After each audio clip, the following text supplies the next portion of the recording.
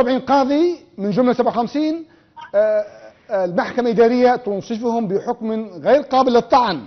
قضاة آه، تحصلوا على إيقاف تنفيذ القرارات عجزت السلطة عمليا عن تأييد قراراتها.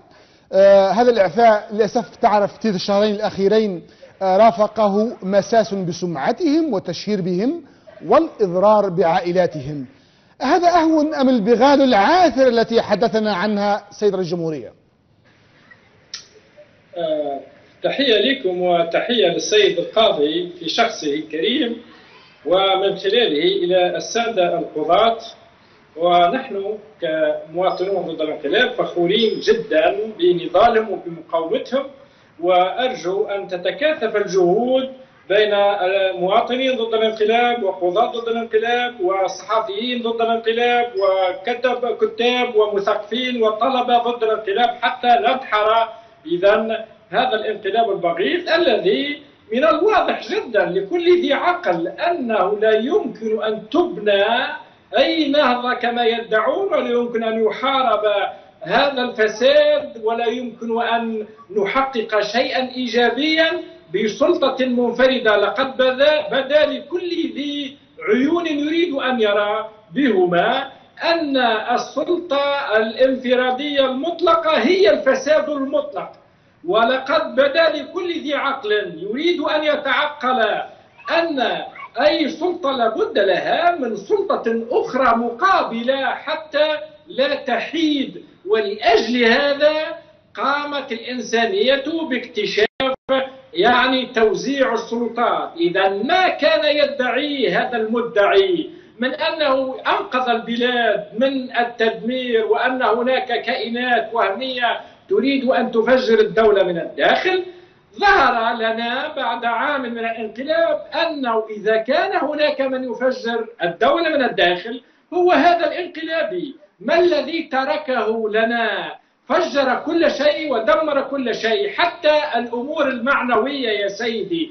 هذه أعراض بشر وهذه عائلات وهؤلاء قضاة وقاضيات لهم أبناء وأزواج وزوجات وأصدقاء وأمهات وآباء شوههم أمام خلق الله ثم ظهر له في نهاية الأمر أنه تسربت هناك أخطاء أعراض الناس ليست فادكة ما نسلموا في طرح شكبة في في حانوت راهو في تجروين ولا في بلاصة هذه دولة وهذا مجتمع. إذا على الناس أن ترعوي. ما قاله وأنا كنت أود أن أرى تسجيله الذي ادعى فيه أنه محص ودقق حالة بحالة لكي لا يظلم أحد طيلة أسابيع طويلة ثم أصدر يعني قراره بدا لنا بالكشف أن الرجل لا يصلح لكي يدير حتى حمود حماس أعطيني قرار واحد أصاب فيه منذ 25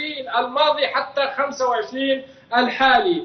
منذ يعني إعفاء الناس وشطب الناس من وظائفها نعم. منذ منع الناس من السفر منذ اختطاف الناس. هناك ناس كنا نسمع حولها بأساطير وبلاوي كنا نتصور أن وراءها ملفات مرعبة اختطفوهم لمدة شهرين ثم أطلقوا سراحهم. هل أعراض الناس وحيواتات الناس لعبة في يد هذا الرجل. إذا على الناس أن تعود لعقولها.